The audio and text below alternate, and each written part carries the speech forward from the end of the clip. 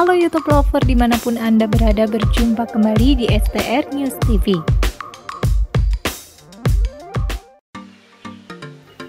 Dilansir dari suara.com, Arya Saloka membagikan momen menarik yang terjadi di lokasi syuting sinetron Ikatan Cinta. Lewat Instagram Story pada Rabu, rupanya Arya Saloka sedang asik melakukan perawatan wajah di sela syuting.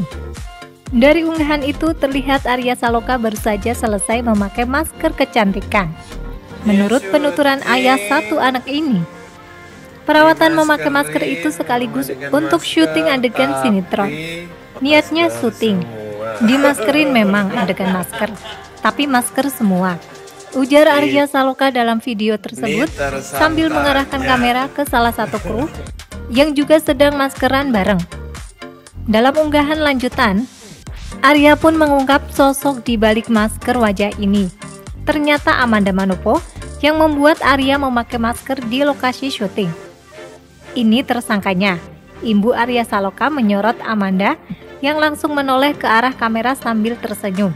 Unggahan Arya Saloka ini seketika menjadi bahasan di akun Instagram fans Arya Saloka 6. Beragam komentar diberikan oleh warganet mengenai momen pemeran Aldebaran itu memakai masker wajah. Tersangkanya bini fiktif sendiri. Emoji tertawa. Emak-emak pada nangis-nangis di rumah. Mereka maskeran. Gemoy dah. Celotuk warganet.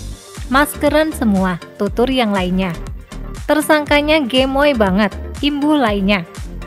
Iron Man-nya Andin maskeran. Hahaha, jangan senyum-senyum. Kalau maskeran nanti keriput wajah gemoynya. Pungkas lainnya. Sementara itu, Amanda Manopo memang dikenal sebagai sosok yang sangat perhatian di lokasi syuting.